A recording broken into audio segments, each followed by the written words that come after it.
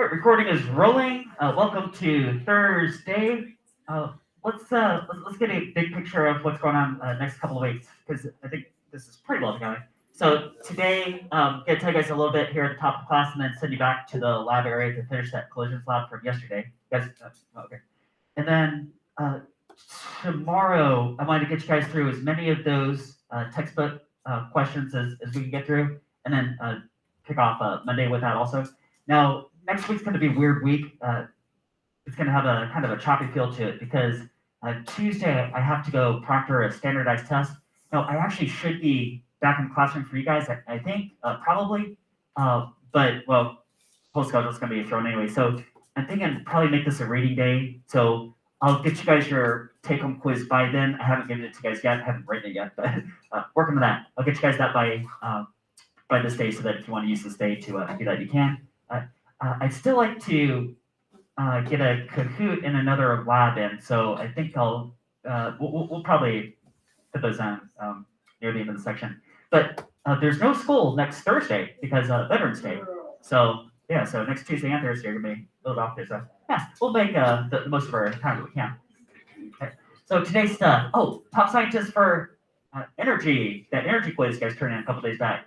Uh, yeah, look at all those names. Yeah. Oh, you guys too. Yeah. Here's here's fourth periods. Look at look at all those names. All those owls. Uh, even just get your name up, name up here, you had to get a uh, re- really good score. So yeah, awesome job. You're up here. You guys know I ask you guys really tough questions on those quizzes too. So yeah, way to go. Okay. All right. Then uh, let's go to uh, this collision lab stuff.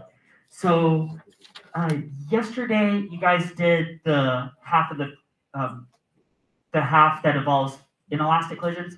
So two parts come together, like bam, they couple together and move together. Okay, That's what you guys did yesterday. You guys did a few of those. Okay. Uh, today you guys are going to do uh, a little bit more involved first one. You guys are going to do the uh, elastic one where it goes boing and they bounce off each other. Okay. Now that one's going to be a little bit tougher to handle because, uh, well, the fact that post collision. Remember, this is pre collision, post collision. Okay. Here's what you did yesterday. Pre collision, there was just you know one card of motion uh, initially, kept one abreast. Okay. So mass times velocity, the starting one that was easy to follow. And then after they couple together, well, it's like one giant mass. So just like one giant object that you're following. But today, uh, if these are bouncing off each other, then but it's going to start out the same way as yesterday. So left half of the table is the same. But the right half, ooh, well, you got to be careful because you got to keep track of two different carts. And there's uh, more than one way to do that, but just plant that idea for now. There is uh, one thing I wanted to mention from yesterday, though, uh, for I guess so know those details, get you guys that, which is uh, I was looking at, uh, at you guys' pre-collision, post-collision uh, momentum uh, values, and of course, ideally, these should be the same number. That's kind of the whole point of the lab. Like, does this equal this?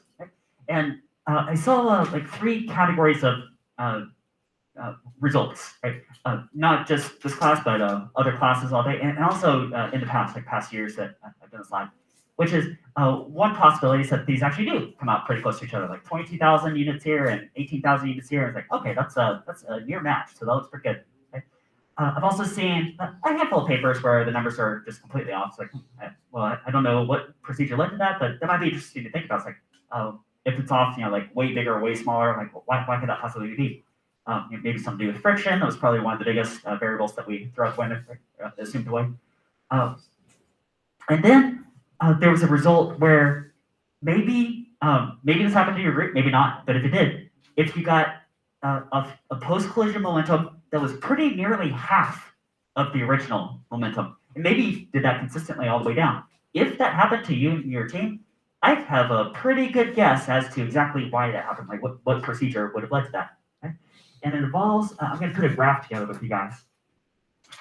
It, it does involve uh, considering friction uh, versus assuming it away. right? So I know that was a low friction cart system.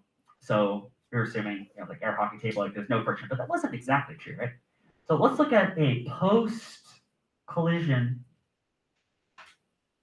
uh, velocity versus time uh, curve. So velocity in centimeters per second and time tick, tick, tick away in seconds, something like this. Uh, post collision, that means that at time zero right here, this is at the collision point. Okay. So before all this, uh, maybe you know some parts were you know, one was head towards the other, and then like bam, then they hit. R- right at this point. Okay? And then now they're coupled together and they're and they're rolling. Okay. Okay. Well, what does this graph look like? V versus T. Uh, there's actually, you know, may, maybe two main possibilities. Okay? Uh, if there was truly no friction, then what should this graph actually look like? Uh, for uh, for no friction, no friction. Shouldn't the carts just just you know constant velocity all the way across, right? Because they couple together, they could like they could if you had a track long enough, like um, could wrap around the Earth. They, they would just keep going. They could never stop if there was no friction, right? Kind of like they'd be in orbit. Right? Uh, but there actually was a little bit of friction, and if you push the initial cart um, like not very hard, so it was going kind of slow to start with. It, you may have ended up with the case that these couple together and actually rolled to a complete stop before the end of the track. Uh, Maybe not, but but maybe. And if you did that, then in that case, this is not what this uh, graph looked like, which uh, I'm going to label this uh, no friction. That was the ideal situation that we were assuming. Uh, but if it rolled to a stop, what would this graph actually look like? Wouldn't it actually look like some version of that right there? Uh, this is with friction. And maybe that's a bit more realistic to what you had yesterday, especially if they rolled to a stop. That's um, pretty well exactly what's going on. Okay. Uh, see if you guys remember this. Uh, velocity versus time. This is one of these classic graphs that you guys have seen since August in this class. Uh, do you guys remember this slope right here? What property, what physical property does the slope represent on a v versus t graph? It represents the hmm. See, rise over run, change of velocity per change of time. Ah, that's the rate change of velocity. Oh, rate change of velocity. That's called acceleration, right? And then what about the area under the curve? Let's say the area of this triangle. What does this area represent? Hmm. See, the shape has some height in centimeters per second, some base in seconds. Area is something to do with base times height, and half of that for a triangle. So centimeters per second times second. Oh, wouldn't that be like centimeters? Right? Wouldn't this represent how far the carts rolled to its top? Right? It uh, they would call it like x, x post.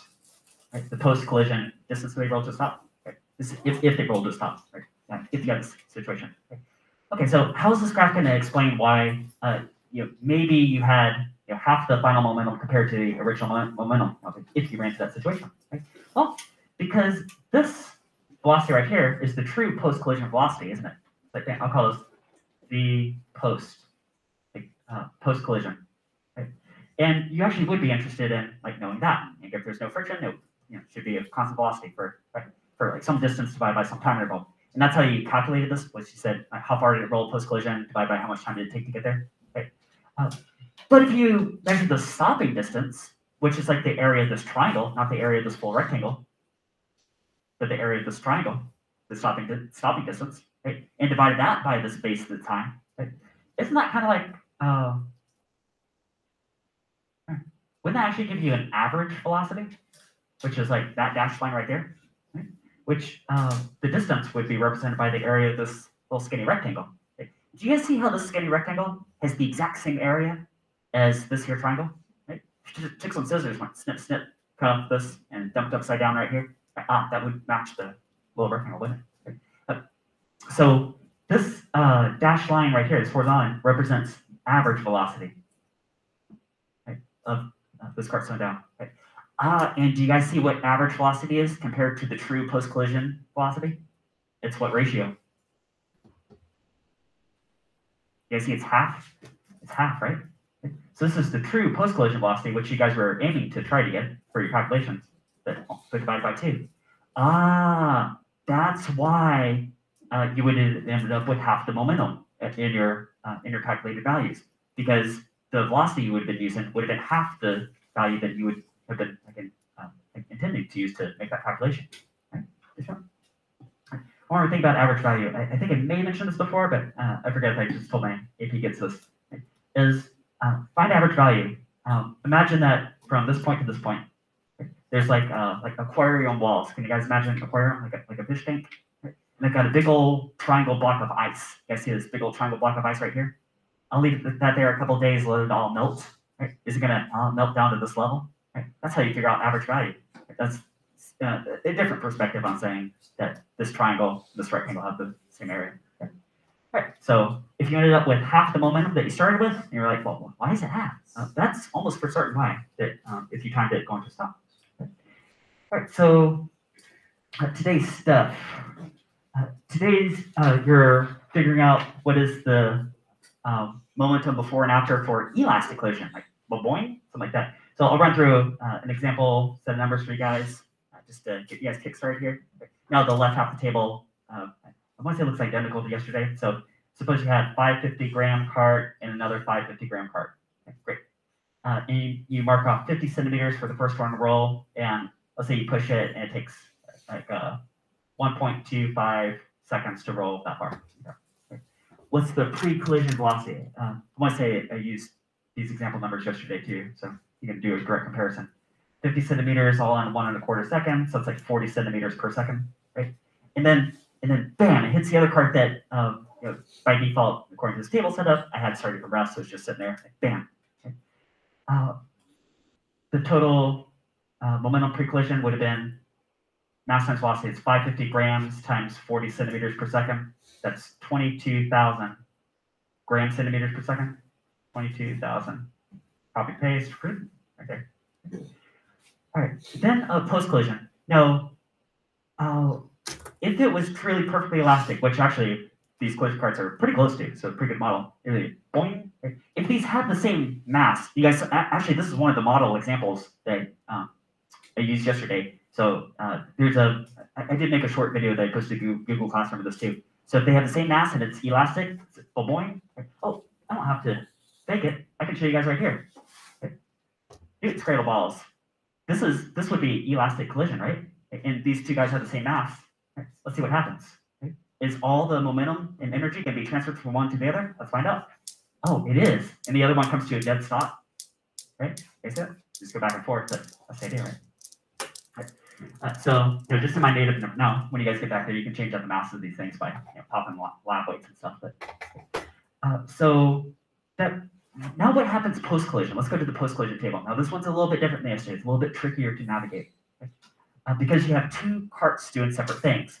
Uh, suppose you rope off one uh, segment at time. Um, let's say you say, how far do they roll in one second? I don't know, one second. This isn't the only thought process, but this is maybe one way you could do this. Okay. So you have a timer, you time one second, and then you have one student say, where does one card end up? Where's another card end up? Uh, so if this is truly elastic, then for say mass, and the first car should come to a dead stop, just like you guys saw with Newton's cradle. Okay. And maybe the other one rolls like 40 centimeters, for example, something like that. So what is post-collision velocity of A, zero, you know, zero divided by one, or and then 40 divided by one would be 40 centimeters per second for the other cart. They multiply by the mass of things, you get zero plus 22,000. Okay. Uh, so this one has some momentum, this one has some momentum. You add those two numbers together, and you get the total momentum post collision. And again, just like yesterday, ideally, these numbers should match. Uh, but you know, we got real world uh, situations. Yeah, there's a little friction, there's a little this, a little that. So I don't think so. Right? Right. You guys got any questions? Right. So you guys have uh, the rest of class to do the elastic half of the lab. When you guys finish that, just turn your page into the grade tray, and I'll give you points. So I'll walk around help you guys out.